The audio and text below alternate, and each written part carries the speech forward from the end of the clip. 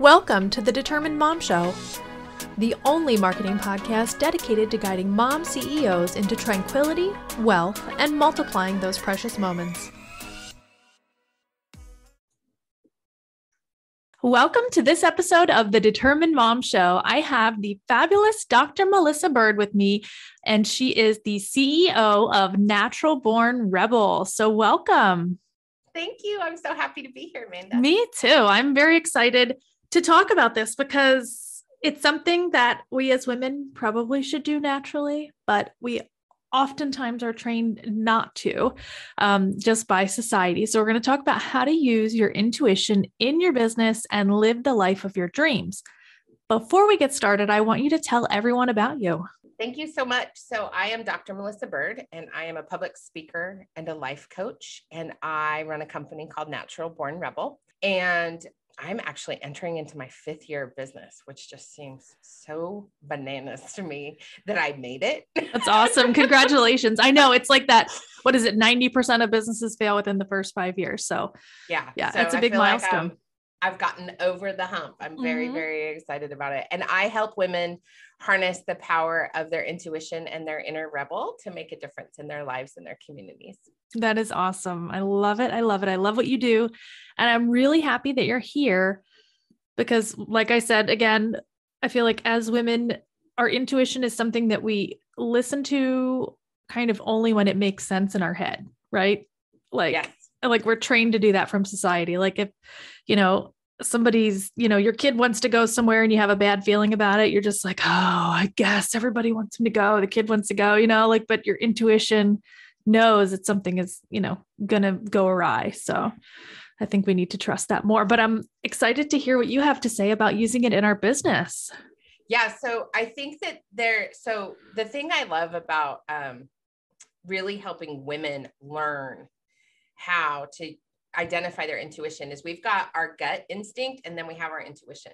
So our gut instinct is that thing that you were just talking about where you're like, oh, I just have a really yucky feeling about this or I have a really great feeling about this, right? Like sometimes we focus so much on our our like, oh my gosh, I'm so worried about this feelings that we forget that we also get gut feelings that say follow that, you know, follow that trail to joy, right? But our intuition is something that comes in moments where we are not distracted. So oftentimes it'll come in the middle of the night. I don't know how many of you stay up in the middle of the night, but like I was up from 2:30 to 4:30. like, totally. I have like, an hour to 2 hours in there yeah, that I wake up it, in the middle of the night. Yep. Yeah, and, and my mind wasn't rushing. It was just I had some thoughts that were coming in and I was like, "Oh, okay." And that's that's your intuition. Like your intuition says, "Hey, this would be really fun." let's do this. And then what happens is your brain jumps in, Amanda, and goes, oh no, that's a terrible idea. Uh, we're going to die and you can't take that risk. And what happens if we do this and we fail? And and then our intuition goes, but what happens if we do it and we succeed? Or what yeah. happens if we do it and we change the course of history? Or what yeah. happens if we do it? And so, and so our brain says we can't take that risk because what happens if? our intuition says, let's take that risk because it's going to be super fun. Yeah. And, um, or because it will change things or because it will help things. And so I think what happens often is that we think our brain is giving us good advice for protection purposes, but that's really just the ego getting in the way. And we are meant to take risk. We are meant to experiment. I often say to my clients, what would happen if your favorite artist, your favorite musician, your favorite author wouldn't have taken the risk to do the thing? Wow. What if that's they really listen to their intuition? That's really powerful. That's crazy when you think about it like that. Because we're like, why wouldn't they? They're so talented. And then you think about yourself and you probably have doubtful thoughts, right? About what you do and about how you help people. But you're right. That's crazy well, if you think about it, Amanda, what if you never would have listened to your intuition say, listen, we ought to do this podcast and help people in this way? Mm-hmm. Like, what if you wouldn't have listened? Yeah. Where would you be? right? Like, Yeah. and that was your intuition. It wasn't like you woke up one morning when you were like 10 and you were like, you know what? Someday I'm going to be a famous podcaster and I'm going to run this business. It's going to be super amazing. Like, you never, that's not how this works, right? No, not at all. No, not even. not even close. and so it's really about listening to those little nudges, watching for the synchronicities. Like oftentimes coincidences will happen and you'll hear the same message from multiple places Mhm. and you'll be like, oh, oh, okay. And if it's places that don't connect, I always say that's God talking, it's not people talking. Like the universe is really bananas that way. So people who are not connected but are in your life, or you'll Yeah. see billboards and then someone will say something and then Yes. you got to watch for those coincidences because that really is your intuition talking. Yeah, that happens to my husband and I like all of the time. Like, not even kidding. Like, at least several times a week, we get these things and we'll come to each other and be like, Oh, I was thinking about this. And he's like, Oh my God, I was thinking about that too. And like, you know, because I saw this. And I'm like, Well, I saw this. And it's just like all of these things coming together. Yeah. Um, I think it's amazing. Yeah. So, I have a question for you. Most of the women that are listening to this are busy moms and they also are running a business. They're running their house, they're doing all of the things. How can we clear a little bit of space for that quiet listening time? Well, so you don't clear the space. So that's the first thing. Okay. um there's uh, you you listen for it in the random times for example i get a lot of stuff in the shower Mm, like when i'm washing my hair i'll get an idea and be like oh that's genius so it's not that i scheduled aside five minutes of time to take a shower i did not do that because Mhm. as you well know we're jumping in the shower whenever we can Yeah, exactly. like we're like oh crap it's 3 p.m i smell like crap i'm gonna go get in the shower right like Yeah. oh the kids are all down for a nap i can safely i can safely pee right Like, Yeah. all the Not alone, not alone, but yeah. not alone no Yeah. never alone No. um that happens eventually too um so but like it's pick it's noticing those moments. And the other thing that i teach all of my clients is to breathe with intention. So when we very first get on the phone i will have my clients take a big deep breath in through their nose out through your mouth just like this. Okay. all it takes is that breath to ground you, to tether you, and to allow random musings to come on in. Wow. That's and awesome. we can do that.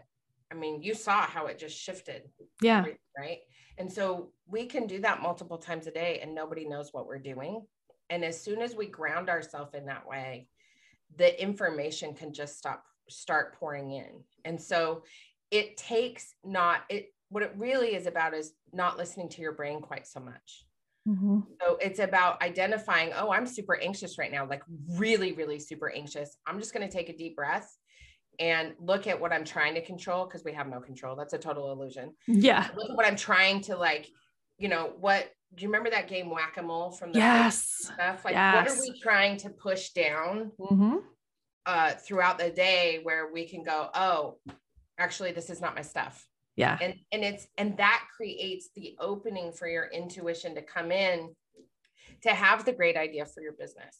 I think the other thing that's really important for moms who are running businesses is for them to remember that we we are not supposed to be working an eight hour day. Hmm nobody works an eight hour day it's an illusion right when people Right. go to the office they have to take mandatory breaks they have to take a lunch break they're wandering around having coffee they're you know going to different cubicles and visiting different things and they're in these meetings they actually only work like three hours a day Yeah. well if That's that's so the true. case and we're all here wanting this freedom of running our businesses and being at home then the first thing to do is listen to your intuition tell you when you work the best are you Yeah. a morning person an afternoon person or a night person I have one client who is a night person. Like her best work happens after midnight. Wow. And so I shifted, but she was trying to take 8 a.m. meetings. And I'm like, why are Oh. you doing that? And she's like, well, that's when people work. And I'm all, but you run your own business. You get to do whatever you want. What do Yeah. you want? And she's like, well, I don't even get up until 10. And I was like, okay, so your first phone call's at noon. yeah. And she's like, I can do that. And I'm all, Yes. Why not? Yeah.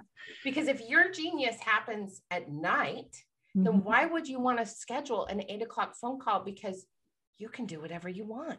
Yeah. And you're so not going to be at the top of your, you know, your peak performance or your even your sharpness. Zone of genius. You're not going to yeah. be in your zone of genius if you are if you are trying to force yourself into a working world we run our own businesses because we want the freedom of being able to take care of our kids and, mm-hmm. to, and make our own money and be our own boss and do all of i mean we all have a million reasons why we are moms who run businesses. Yes. So why are we trying to conform to some stupid standard of corporate that we ran screaming from? Yeah that's that? so true.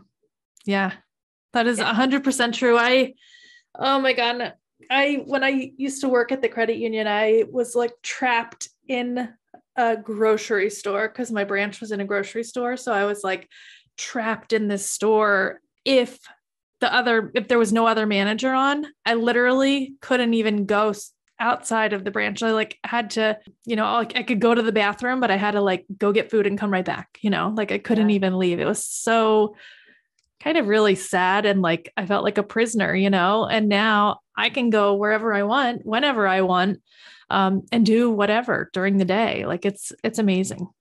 Yeah, and set some business hours for yourself, right? Mm-hmm. Like the greatest piece of advice I ever got from my coach. Also hire a coach. Like honestly, yeah, have a support system. Get a VA and get a coach. so you have some people to talk to that can get you out of your head and get yes. you being productive. But you know, the greatest piece of advice I ever got from my coach was to set business hours. She's like, "When are you working?" And I'm all, "Working? What?" And she's mm-hmm. like, "Girl, set your business hours." And I only work like 4 hours a day, basically. Mm-hmm. Yeah. And I don't actually work every day because I have set aside time for writing and all the other things that I want to do in my life. Mm-hmm. And since I have this incredibly abundant, beautiful business, I get to do whatever I want. Yeah, that's awesome. It's like, what is it? The Parkinson's principle, like however long you set aside for something, that's how long it's going to take you. So if you're giving yourself that eight hours, it's literally going to be filled with stuff, right? Yep. Yeah. Yeah. yeah. I don't want to do that for eight hours. Yeah, me neither. me neither.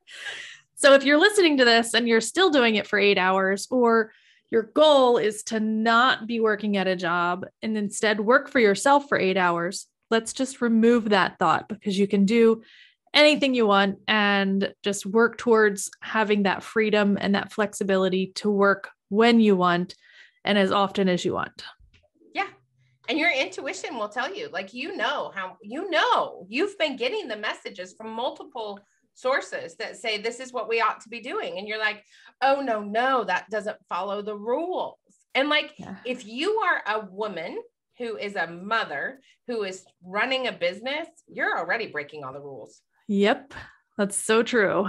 So true. And even a mother that's working and doing a side gig or a side hustle or, you know, all of those things are really breaking difficult. Yeah, exactly. Exactly. So, yeah. yeah, I love it. Awesome. So I know that you have some things coming up in the spring. Um, but one thing that you have coming up is the embodying. Tell well, tell us about it. I know I'm not gonna go there, but you you tell us about what you have coming up. Well, so I have a couple of um, different things coming up. One is Rebel School. Mm-hmm. Um, I teach Rebel School a couple of times a year, and it is an 18 week program for 10 women where uh, it's all online and the first six weeks, we really dig into healing rebel shame and wounding. So we really dig into the messages that we receive about uh, that shame us and wound us to hide our rebellion or to um, hide ourselves. And for those of you who are out there who are thinking, but I'm not a rebel, like I follow all the rules, that's also rebellion. Like I had one client who was like, but like, she's like, you talk all the time about how you were the super rebel, like skipping school and smoking cigarettes. You know, I was like mm-hmm. the hardcore heavy metal quintessentials 80s rocker chick. Love it. Um, but she's like, but I got straight A's and I played, you know, I was I played by all the rules. I didn't break the rules. And I was like, but isn't that in and of itself a rebellion? Mm-hmm. Like, what were the other people in your high school doing? And she's like, oh my God. They weren't doing that too, right? Yeah. I'm a rebel too. And so I think we also part of rebel school is redefining what it means to be a rebel. right mm-hmm. and yeah. and women by our very nature are rebellious yeah. Um, i mean we create humanity like, yeah. how rebellious is that? Like, exactly just by the nature of who we are we we create human beings. And and so so there and and also we can choose not to be mothers right? Like or yeah. we choose to mother in a million different ways. So anyway we heal that rebel shame and wounding. And then the next six weeks are about taking inspired intentional action because one of the things i see all the time with the women that i work with is that they think oh i just got to take action. I just got to do something and when it doesn't come from that space of inspired intention, we don't get clarity from a space of inspired intention. And then we don't build our confidence from a place of inspiration. And so we learn how to take inspired intentional action and really learn what it is that you're passionate about so that every time you take an action, it's from a space of what you are here to do. And then the last six weeks are all about learning the, the tools to use your intuition because you got to heal your wounds before you can really tap into that intuitive spirit. So how to uh, discernment um, learn how to use your intuition and really learn how to dig into the tools that you need to use that as a part of your daily living. So that's what that is. And you get four one-on-one coaching sessions with me when you do Rebel School. So it's really, really, it's so beautiful. It's the most beautiful thing ever. yeah. Four one-on-one coaching session sessions with you sounds amazing in itself. And then when you add on all of the all of that training and transformation. Yeah, really, it is beautiful. It is a, a deeply transformative experience. And then I'm also teaching a four week um, class about embodying the heart of the warrior. And so I have created, I have a piece of art that was created by an artist named Thunder Voice uh, Eagle. I think that's his name. Um, and it's this beautiful wood carving of a heart. And he talks about the heart of the warrior. And it's it's the eight embodiment, eight embodiments of the warrior. So courage, um, love, compassion, humility and it's a, a four week course where we take two of the of the the concepts and dig into how we can use those for transformative leadership in our lives. Oh wow. Because the other this thing is, is moms don't think they're mom, they're leaders. Like no. I have a friend who coaches does leadership coaching and she's you know these moms keep saying well i'm not a leader you're like leading everything. I know. Like you, you lead, lead, the kids. Lead. I know exactly. like everything. You lead it. Yeah. Yeah. So I really um I I'm really excited about that class. Um, for a couple of reasons because it intersects a lot of different things that happen in the spring because we have spring equinox we also have easter we also have the lenten season if you mm-hmm. uh, have a christian background and so it actually falls into all those magical days that are mm-hmm. happening to connect us deeper with our intuition with our spirit. That's awesome. We are leaders, and uh, my youngest of my followers just came in to deliver That's an right. Amazon package. because it couldn't wait until after we're done recording. But oh. um, yeah, exactly. So uh, this is amazing. So when are all of those, um, you know, things happening, and I know. Yeah, I know the. Let's see. You said Rebel School starts on January 27th. Okay. And are you full for that yet or no? No. Okay. Because that is going to be. So Rebel School starts January 27th and it's 18 weeks.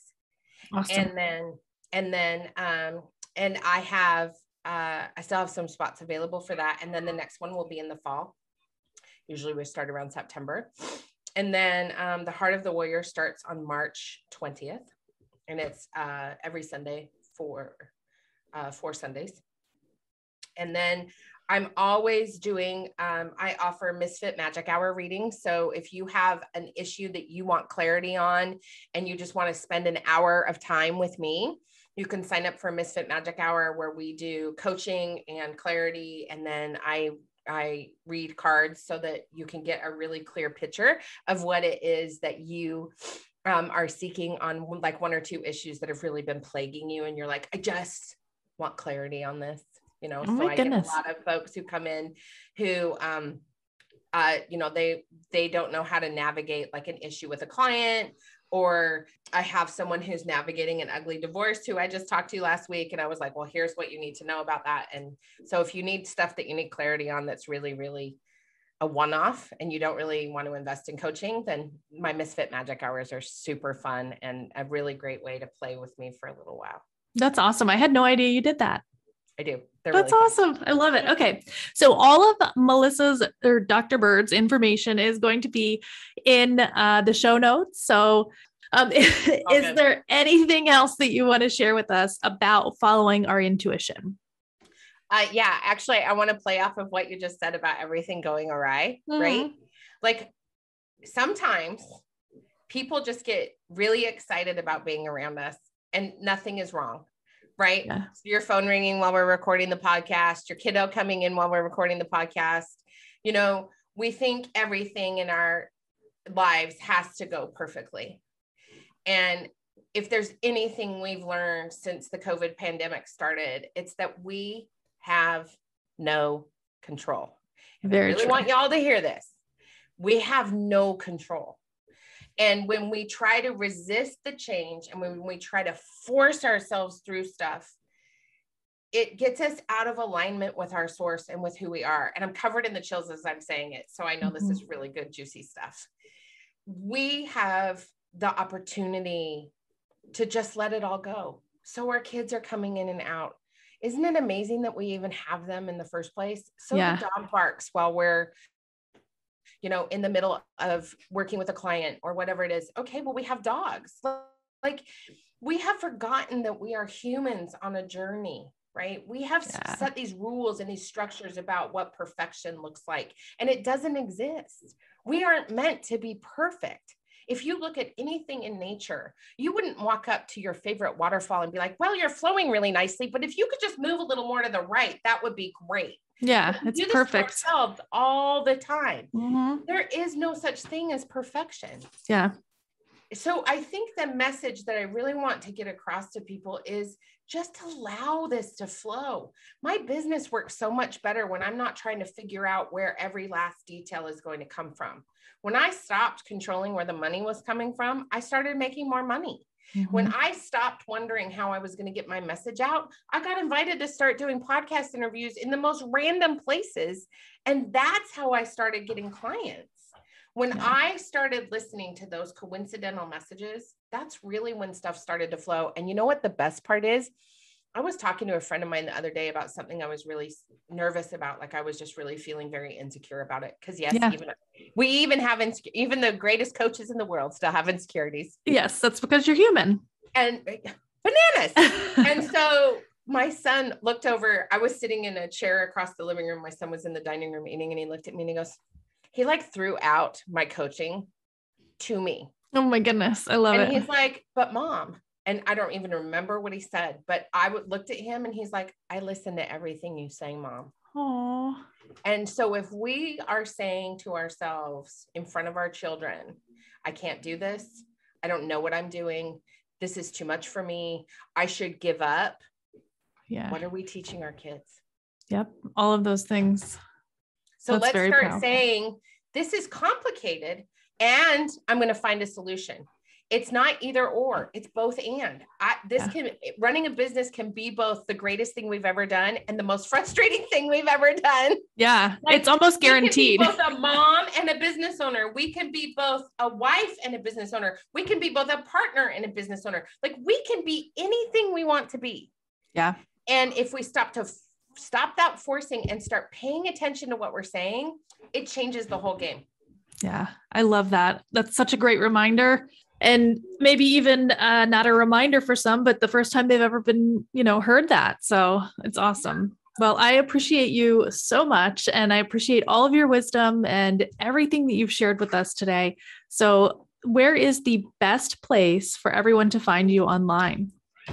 The best place to find me online is either on my website at naturalbornrebel.com or uh, I have a really good time on Instagram right now. I'm really digging it. So you can find me on Instagram at birdgirl, B I R D G I R L 1001. Awesome. Thank you, Dr. Bird. Thank you so much. It's nice seeing you. You too. Thank you for listening to the Determined Mom Show. We appreciate you, and we would love for you to leave us a review on Apple Podcasts. This will help us reach as many other moms as we can.